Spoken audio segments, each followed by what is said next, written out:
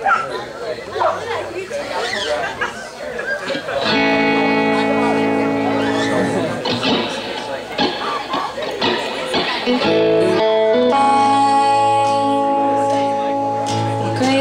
to say that all the pain has been worth it.